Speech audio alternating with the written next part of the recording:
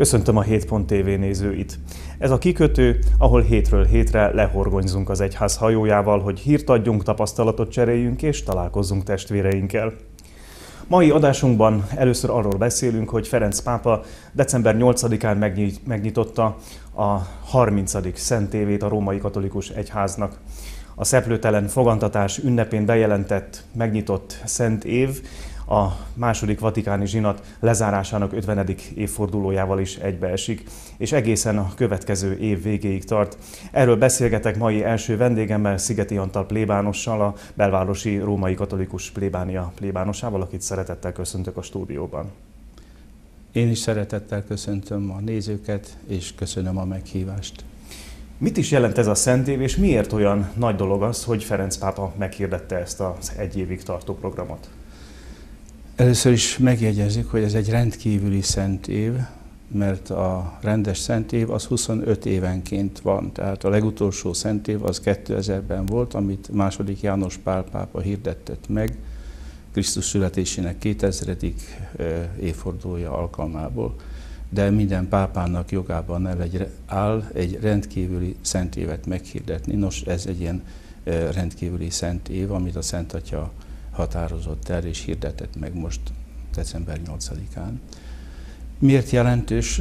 Nyilván a Szent Atya úgy érezte, hogy ebben a korban, amiben most vagyunk, és azon viszonyok között, ami most feszíti a világot, rá kell irányítanunk egy nagyon fontos dologra a világ, és főképpen a hívő keresztények figyelmét. Ez pedig nem más, mint az isteni irgalmasság, illetve maga az irgalmasság, mint keresztény erény. Mert uh, Szent Atyának kezdettől fogva ez egy sajátos hozzáállása volt a világhoz, az emberekhez. Nagy-nagy szeretettel és könyörülettel, irgalommal fordul a szenvedők, a betegek, a különféle bajokban, testi-lelki bajokban szenvedők felé. Ez... A névválasztása is tulajdonképpen ezt tükrözi, hiszen nem véletlenül vette föl az Assisi Szent Ferenc nevét. Így van. Tehát Assisi Szent Ferenc is maga is szegényé vált azért, hogy a szegényekkel együtt érezzen, és a Szent Atya is mindig ezt hangoztatja, hogy maga, ami példaképünk Jézus Krisztus is kiüresítette önmagát, hozzánk hasonló lett mindenben a bűnt kivéve. Tehát ő korábban is egy olyan magatartást élt meg és gyakorolt, ami botránkoztatta annak a kornak vallásos vezetőit is, a farizeusokat, írástudókat, hogy ő leül a bűnösökkel egy asztalhoz, hogy bűnös asszonyokat magához közel engedi és szóba áll velük. Ő pedig pontosan ezért jött, hogy nem a egészségeseknek kell az orvos, orvos, hanem a betegeknek. Nem azért jöttem, hogy elítéljem a világot, hanem hogy üdvözítsen.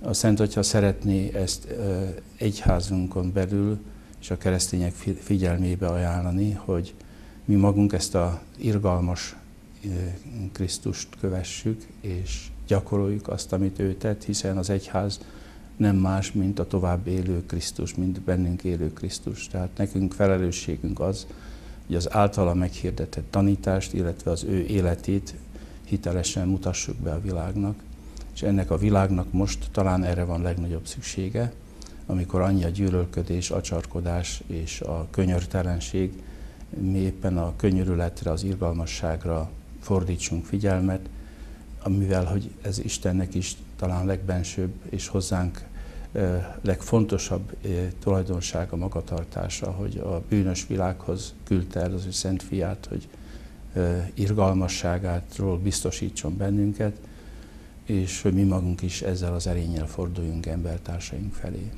A Szent Agya, Szent Agya minden héten azt ígérte, hogy majd egy-egy irgalmas cselekedettel fogja ünnepelni ezt a szent évet. Mire lehet számítani az év során?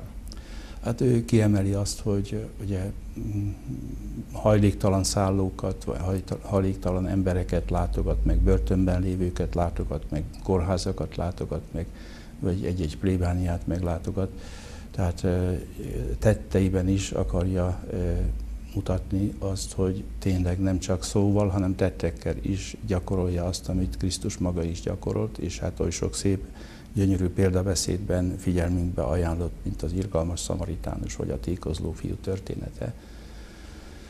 És hát a, a bullában pedig, amit meghirdetett, amelyben meghirdette a Szent Évet, külön ki is hangsúlyozza azt, hogy ez nem csak Rómában történhet meg, ez a szent kapunyitás, a Szent Év kapujának a megnyitása, hanem lehetőleg minden székesegyházban, társszékesegyházban és búcsújáró helyeken jelképesen tárják ki a kapukat, amelyen átlépve megtapasztaljuk az irgalmasságot, hiszen ugye kívülről befelé megyünk a kapun, egy profán világból belépünk egy szent helyre, szent közegbe, ahol hát Istent különleges módon megtapasztaljuk és jelenlévőnek valljuk, és hát ez az ember szinte köteles, hogy, hogy megtisztuljon, megtisztultan lépjen át ezen a kapun, és ennek a, a szent évnek a gyakorlatai is erre fognak majd irányulni. Tehát egyrészt a bűnbánattartás a magunk szempontjából, a magunk lelki élete szempontjából egy megtisztulás nagyon fontos mindegyikünk számára, és amit mi Istentől kapunk, azt adjuk tovább, ahogy a mi atyánkban is imádkozunk. Bocsáss meg a mi védkeinket, miképpen mi is megbocsájtunk az ellenünk védkezőknek. Tehát ezt kellene tényleg egyházunkon belül komolyan venni, mindenkinek, minden kereszténynek, egyházi embereknek és laikusoknak, hogy hordozzuk magunkban ezt az irgalmas lelkületet, ami nem egyfajta megbocsájtó, leereszkedő magatartás a bűnösök felé, hanem együttérzés velük, az ő sorsuknak, lelki bajuknak, testi bajaiknak a, az átélése, magunkra vállalása, és hát egyfajta szolidaritás vállalás, ami, ami azt jelenti, hogy egyrészt, hogy akarunk segíteni rajtuk, másrészt pedig mi magunk nem élünk, nem szabad élnünk olyan fényűző módon és részvétlenül a szegény emberek közösségében, társaságában, ami nagy diszonanciát jelenthetne a Krisztusi tanítás fényében, hogy nem vagyunk részvétel a szegények iránt. De a kapunyításnak a, a szimbóluma azért egy jól érthető jelkép mindenki számára. Tehát gondolom, hogy, hogy mindenki egy, ezzel a látványos tettel egyértelműen azonosítja, hogy mi a szándéka a Szent Atyának akkor, amikor kitárja a kapukat, és ugye Ferenc pápa mögött az, a második ember, aki belépett december 8-án a bazilikába, az ugye az elődje 16. Benedek pápa volt, de ugyanez megtörtént Magyarországon is, én úgy tudom, az Esztergomi bazilikában is.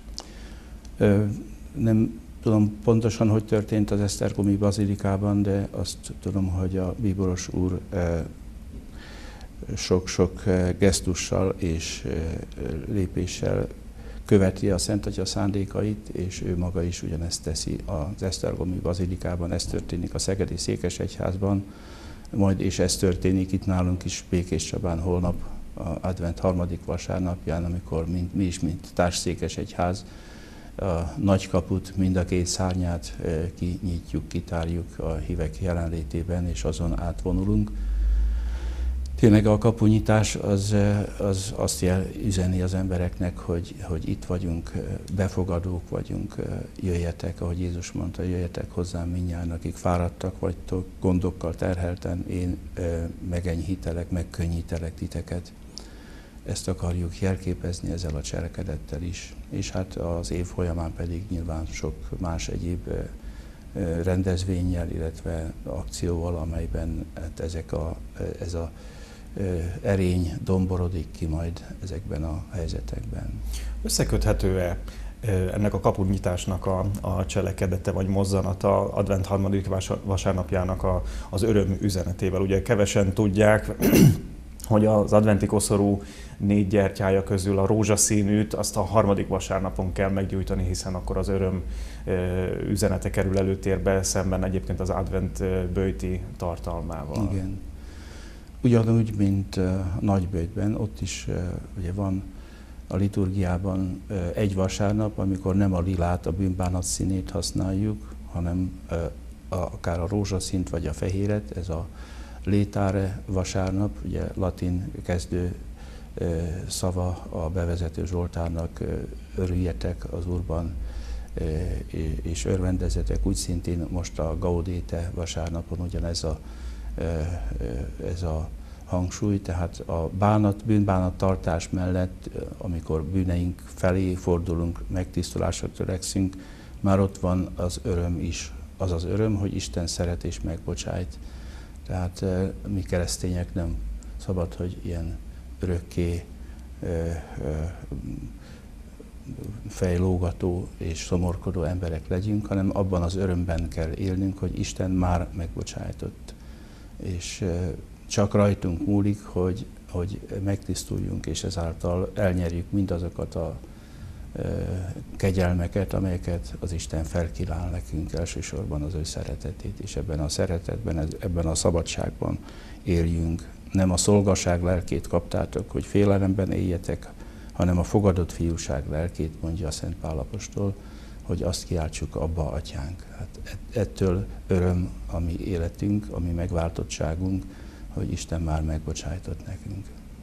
Reméljük, hogy akkor ez az üzenet adventben is, és az egész szent év alatt minél többekhez eljut, és valóságá válik mindannyiunk életében.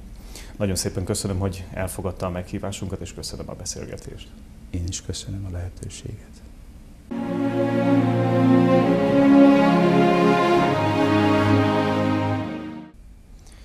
Advent harmadik vasárnapján az Ökumenikus Advent programjának keretében a Kalandrella Kamarakórus tart ma zenés áhítatot a Jaminei Evangélikus templomban. Következő vendégem Putyajné Ablonci Katalin, a kórus karnagya, akit szeretettel köszöntök a stúdióban. Én is köszöntöm a nézőket, és köszönöm, hogy itt lehetek. Mit jelent pontosan a zenés áhítat? Mitől lesz a zene áhítatos, vagy mitől lesz az áhítat zenés? Júj, hát ez nehéz megfogalmazni. Talán azt, hogy mit énekelünk, az nagyon fontos.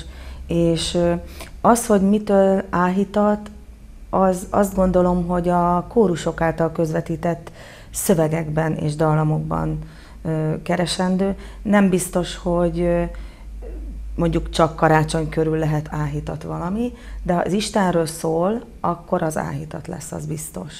És itt milyen énekeket hallhat a közönség? Nagyon sokfélét azt gondolom, hogy próbáltunk úgy válogatni, hogy ismeretlen is legyen, ismeretlen zeneszerző, ismeretlen műve, és olyat is, ami nagyon ismert, és megpróbáljuk majd megénekeltetni azokat, akik ott ülnek, mert szerintem az a legszebb része, amikor együtt énekel mindenki. Tehát nem csak a kórus, hanem, hanem velünk együtt mindenki, aki ott van. És akkor a szövegek ö, érintik meg inkább a hallgatóságot, vagy a dallamnak van ünnepélyes hangulata? Én azt gondolom, hogy a dallam az, ami a lélek legmélyebb rétegeibe eljut. Tehát így a kettő együtt. Hogy a szövegben elmondott imádságnál a dalban elmondott imádság sokkal többet ér. Valahogy az ember lelkének mélyebb rétegeibe eljut, és, és szerintem ö, olyan, ö, hogy is mondjam, ráhangolódást segít. Több, több az ének, mint a, mint a csak szöveg, szerintem. És ebben az áhítatban a lelkülethez hozzáadnak a kórus tagjai is? Ők maguk is átélik az ünnepet? Már többször elmondtam, hogy meg talán le is írtam, hogy nekem nagyon fontos az, hogy a, a, az elénekelt énekek lélektől lélekig jussanak el. És nem csak leénekelni szeretnénk valamit, hanem elénekelni. És ez óriási különbség. Én nekem nagyon fontos az, hogy a kórustagok mm, hívő emberek legyenek. Nem tudom, valahogy úgy alakult, hogy, hogy érdeklődő, legalább érdeklődő emberek legyenek, és valahogy úgy is van, hogy templomba járó emberek a, a kórustagok, és többsége templomba is jár, és részt vesz Isten tiszteleteken. Persze felekezet szerint különbözőek vagyunk, de hát nem is ez a lényeg, hogy egyformán gondolkozunk mindenről. De az, hogy ő, aki énekel, átéli igazán, amit tudja, hogy miről énekel, az, az segít abban, hogy aki hallgatja, az is jobban át tudja élni. Szerintem nagyon fontos. Nagyon fontos. És akkor így az ünnepeket hogyan élik meg, hogyha a hívők közösségét jelenti tulajdonképpen a, a kalandrella, de a, éppen az ünnepek alatt kellene még többet fellépni, gondolom. Nem szürkíti ki ez a, az ünnepnek a fényét? Békés Csaba egy ö, olyan hely, ahol szinte minden napra jut kórus hangverseny most ebben az időszakban. A mi kórusunk kétszer ö, lép fel most, illetve már volt egy, tehát háromszor lép fel mm, ebben az időszakban. Én azt gondolom, hogy ez nem lehet ö, rutin, meg nem lehet beleszürkülni. Mert minden egyes koncert, inkább így mondom, hogy hangverseny, mert ez, ez igazából nem koncert, hanem, hanem egy együtt éneklő, Isten születésére hangolódó alkalom. Tehát ez nem lehet, ez, nem lehet, hogy elszürküljön, nem szabad, hogy elszürküljön. Ha mi úgy érezzük, hogy már unjuk, vagy elegünk van, akkor az nagyon-nagyon nagyon rossz lenne. Én azt gondolom, hogy, hogy ha mondjuk háromszor, négyszer ugyanazt a művet adjuk elő, az nem azt jelenti, hogy egyre jobban unjuk, hanem, hanem talán egyre többet tudunk beleadni, és egyre jobb lesz. Reméljük, hogy mindig lehet jobb, mint az előző. Tehát minőségileg is jobb hangzás, jobb ö, együtt ö, odafigyelés. Ugye a kórus, kórus éneklés, ez az együtt mozdulás valamire, együtt odafigyelés. Az, hogy ö, hogyan szeretnénk, tehát az biztos, hogy minden koncert, teljesen mindegy, hogy milyen koncert és milyen hangverseny, előtte el szoktunk csendesedni. Tehát ez valami olyan erőt ad, ami egy irányba fordítja, nem csak a figyelmünket, hanem a lelkünket is. Ugye a, a, arra, abban bízunk, hogy nem csak mi vagyunk ott, hanem általunk egy hatalmasabb erő is meg tud szólalni, és szolgálatban vagyunk. Gyakorlatilag ezt próbáljuk ő, tudatosítani magunkban. Ez, ez szerintem nagyon fontos, és ezért jó, hogyha hívő emberekkel énekel az ember, mert, mert akkor ebben alázatosan ott tud lenni, és, és szolgálatként tekinti az éneklést. És ebben a, a karácsony előtti időszakban ez hangsúlyozottabban fontos. Az, hogy a közösségünk mennyire formálódik, sajnos mi is abban a helyzetben vagyunk, hogy bizony nem tudunk minden próbán mindenki ott lenni, ez bizony feszültségeket is szül, mert hol az egyik hiányzik, hol a másik. Aki már valamit megtanult, a következő alkalommal újra kell tanulni, mert a másik még nem hallotta. Tehát ez gondolom minden kórusban probléma, a férfiak, a férfi stáb, akik hiányoznak általában a tenor és a basszuszólam, tehát azért vannak feszültségek, de igyekszünk túl lenni rajta, és, és ha valamit kimondunk, és ö, nem úgy kellett volna, akkor megbocsátunk egymásnak. Hát azért vannak feszültségek, de, de reméljük, hogy ez az időszak, ez a megbocsátásról is szól inkább, mint a, mint a feszültségekről. Akkor gondolom ön nem egyszerűen csak a karnagya a kórusnak, hanem egyúttal a közösségnek a vezetője is. Hát ezt hadd mondjam el, hogy minden karnagy érzi, hogy teljesen mindegy, hogy milyen korosztálya van, hogyha nekem mondjuk van egy idősebb korosztályból álló kórusom is, ott valahogy elvárják az embertől, hogy vezető is legyen. Ez nagyon nagy felelősség, és nem azt mondom, hogy teher, de néha teher hogy igazság osztó szerepet is szeretnének ránk testálni, és nem csak a, a, gyakorlatilag az énekeket vezetjük, hanem igen, ez egy felelősségteljes vezető szerep, amiben erkölcsileg nagyon, nagyon ott kell lenni, és, és nem csak, mondom, nem csak sima vezető, hanem erkölcsi vezetőnek is kell lenni. Akkor gondolom, annak abból erőt is lehet meríteni, hogyha az ember látja, hogy az általa vezetett közösségben van egy erő, ami megtart, tovább lendít. Nagyon sokat kapok minden kórusomtól, a Kalandrel, a Kamara kórustól is, a gimi, gimi, gimnazistáktól is, azt a szeretetet, azt az erőt, ami éppen elbizonytalanít, vagy, vagy éppen nekem is vannak idegesebb vagy feszültebb napjaim, és a kóruspróba az, az, ha nem is mindig hát hogy mondjam, gördülékenyen megy, de azért főleg ezek az együtténeklések hát nagyon-nagyon sok örömöt adnak. És most ugye a, a következő héten lesz egy ö, olyan alkalom, amikor többek, több kórus is énekelhet majd együtt. Ez milyen alkalom lesz, illetve hogyan készülnek erre? Elindult 16 évvel ezelőtt ez a kezdeményezés, hogy több kórus együtt fogjon össze, és egy adventi hangversenyt tartson, és most hat kórus szerepel, majd kedden este hattól a kis templomban. Nagyon készülünk rá, összkari mű is lesz, tehát amit a végén a hat kórus együtt ad elő, és aztán utána megénekeltetjük az ott lévő közönséget, tehát egy közös éneklés, nagy éneklés, egyébként ez mindig szokott lenni. Nagyon készülünk rá, reméljük jól fog sikerülni. Mennyien vesznek majd részt ezen a Énekesek adventi. vagy közönség? Úgy egyáltalán. Tele szokott lenni a templom, hála Istennek. Tehát a karzatok, általában 650 a férőhely, hát annyi szerintem szoktunk lenni. Nagyon, nagyon tele szokott lenni. Annak azért van hangulata, ha 650 torokból megszólal ugyanaz az ének. Igen. Igen.